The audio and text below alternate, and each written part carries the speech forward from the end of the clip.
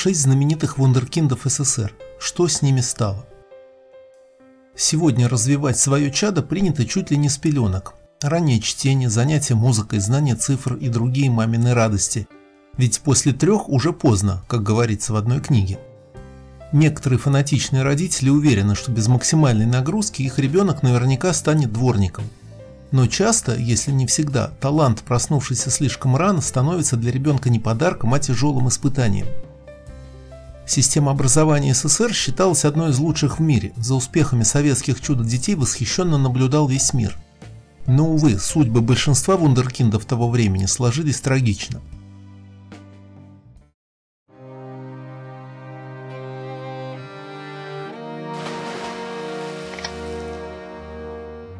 Паша Коноплев.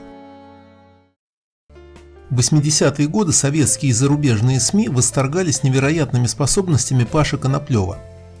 Он решал сложные математические задачи уже в три года. В пятилетнем возрасте он без чьей-либо помощи научился играть на пианино. В 8 лет Паша прекрасно разбирался в физике, 15 лет был зачислен в университет, 18 в аспирантуру. Паша был в восторге от учебы, а родители от того, что мальчика ждет большое будущее. Однако в какой-то момент психика юного гения перестала справляться с нагрузками. Начались бесконечные эмоциональные срывы, вспышки агрессии, попытки самоубийства. Родственники поместили его в психиатрическую лечебницу, где тяжелые препараты глушили его отчаяние вместе с неординарными возможностями мозга. Из больницы Паша Коноплев уже не вышел, скончавшись от легочного тромба, когда ему было всего 29 лет.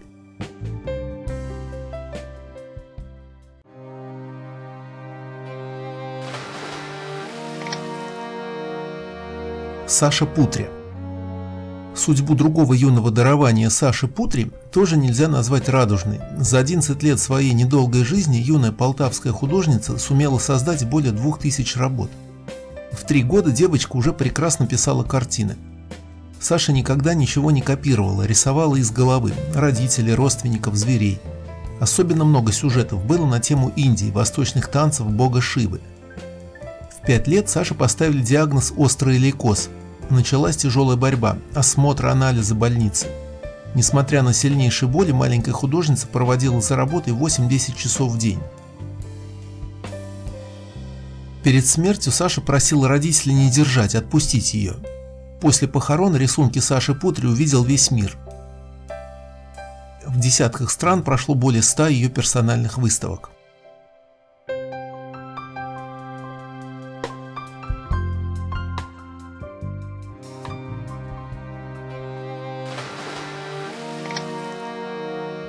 Полина Осетинская. Полина тоже прославилась в 80-х годах прошлого века. С 6 лет юная пианистка активно гастролировала по стране, собирая в каждом городе огромные залы. Отец, с которым росла девочка в детстве, получил травму руки и не смог стать профессиональным пианистом. Однако решил вырастить великого музыканта из маленькой Полины. Уже к 8 годам она играла наизусть 30 часов сложнейших музыкальных произведений но в 13 лет девочка взбунтовалась против постоянной муштры и сбежала из дома. Тогда Полина впервые поделилась с журналистами, ее гениальность была следствием регулярных побоев и унижений. Музыку девочка, тем не менее, не бросила, закончив сначала школу-лицей при Петербургской консерватории, а затем и саму консерваторию. В 2008 году у Полины Осетинской вышла книга «Прощай грусть», где она рассказала о жестоких методах, которые применял ее отец для воспитания маленькой звезды. Бывший вундеркинд, а ныне обычный, ну почти, человек, профессионал и мама троих детей Полина Осетинская продолжает успешную концертную деятельность.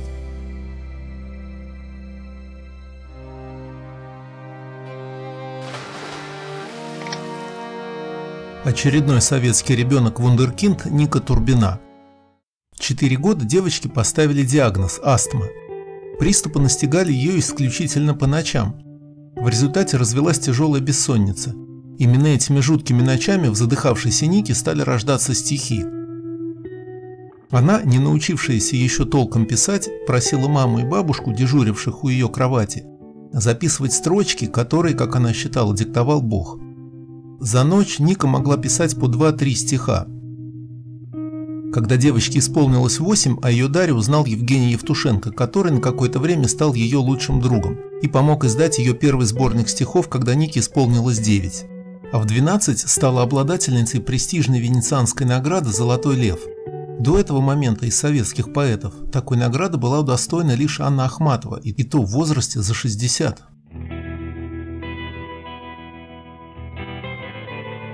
Она гремела на всю страну. Ее выступления транслировали по телевидению, ей зачитывались, студенты и школьники учили стихи наизусть. Когда Евгений Евтушенко привел ее в Союз поэтов Советского Союза, перед выступлением Ники зал покинул Булат Акуджава. На вопрос «Почему вы уходите?» он ответил «Я не хочу участвовать в убийстве невинного ребенка». Как показало время, Булат Шалбович был прав. Наступили 90-е, и про Нику забыли. Слабая детская психика дала сбой. Еще вчера ее любили, обожали, приглашали на всевозможные вечера и встречи, а теперь она сидела у замолчавшего телефона в полной растерянности.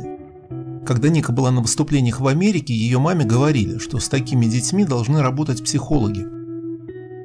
Потому что рано или поздно ажиотаж вокруг ее персоны спадет, а для детей переносить подобный стресс очень болезненно. Но в СССР не было подобной практики и с Никой никто не занимался. Когда она переехала в Москву, то довольно скоро пристрастилась к алкоголю и, не закончив образование, пыталась найти себя в этой жизни, но тщетно. Она выросла, и ее стихи перестали быть для людей каким-то чудом. Она старалась быть актрисой, фотомоделью, телеведущей, женой. Не получалось ничего. Начались попытки самоубийства. Одна, вторая. Бог любил ее, и до конца своей жизни она не переставала писать стихи. Правда, людям они были больше не интересны. 11 мая 2002 года произошла третья попытка. Она погибла, выбросившись из окна пятого этажа.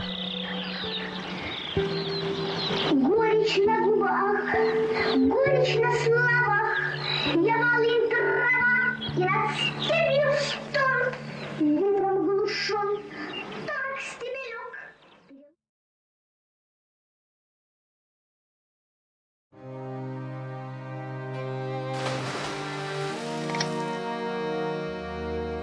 Алеша Султанов Алексея Султанова, родившегося в 1970 году, все называли юным Моцартом и пророчили ему головокружительный успех.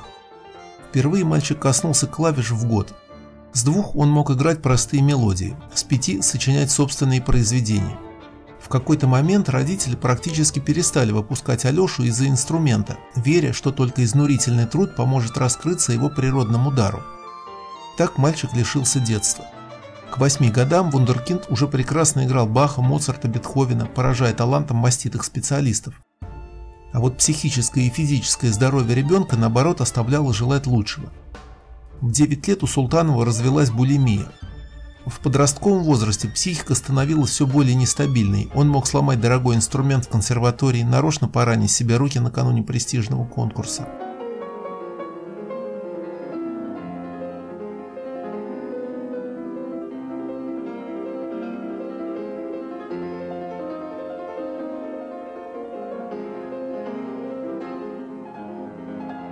В 19 лет Алексей признают лучшим из 40 талантливейших пианистов мира.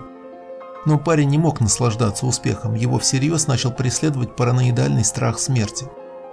Алексей Султанов был уверен, что умрет от инсульта. Так и случилось. В возрасте 32 лет он перенес сразу 5 приступов. Гениальный пианист ослеп на один глаз, его частично парализовало. С большим трудом он восстановился, но прожил после этого всего 4 года.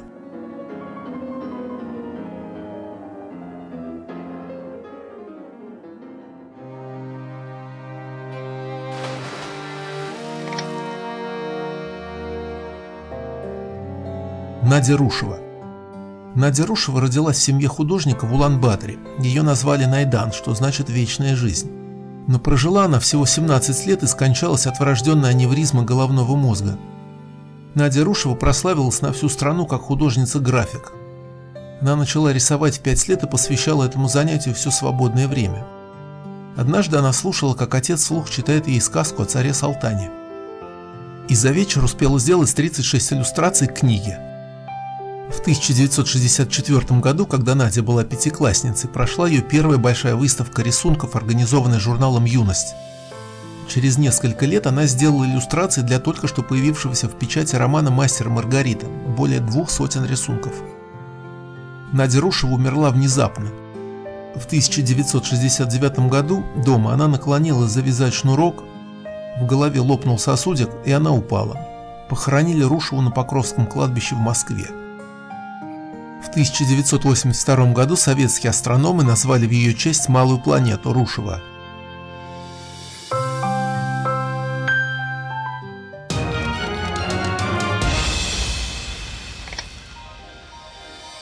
сожалению, вундеркиндов, сумевших стать успешными во взрослой жизни, можно пересчитать по пальцам.